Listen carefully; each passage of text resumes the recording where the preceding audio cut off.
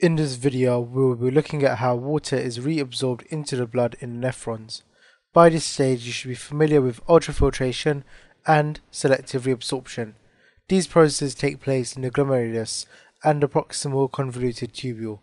This picture shows the nephron surrounded by the capillaries. The water will pass from the nephron into the interstitial region and from the interstitial region back into the capillaries. To understand reabsorption of water, it's easiest to start at the loop of Henle.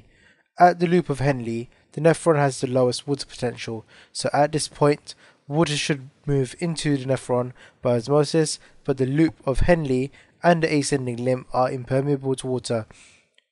As we go up the ascending limb, sodium ion protein channels pump sodium out of the ascending limb into the interstitial region. This lowers the water potential in the interstitial region and increases the water potential in the ascending limb. But water cannot move out of the ascending limb as it is impermeable to water. The ascending limb continues to pump sodium ions out.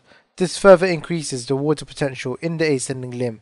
Now, at the distal convoluted tubule, at the top of the ascending loop of Henle, the water potential in the nephron is very high, over here, the water moves out of the distal convoluted tubule into the interstitial region.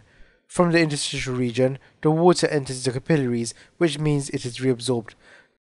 The water that remains in the distal convoluted tubule passes into the collecting duct. From the collecting duct, the water will pass into the ureter. At the proximal convoluted tubule, the water potential in the nephron is higher. The water potential in the interstitial region is lower due to the ascending loop pumping out the sodium ions. This leads to water leaving the proximal convoluted tubule and the descending loop by osmosis. This reduces the water potential in the nephron until it reaches the loop of Henle. The key points to remember are water in the interstitial region passes into the capillaries by osmosis. Sodium ions are pumped out of the ascending loop, lowering the water potential in the interstitial region. Water moves out of the nephron at the proximal convoluted tubule, the descending loop, and the distal convoluted tubule. All these processes are required to reabsorb water back into the capillaries.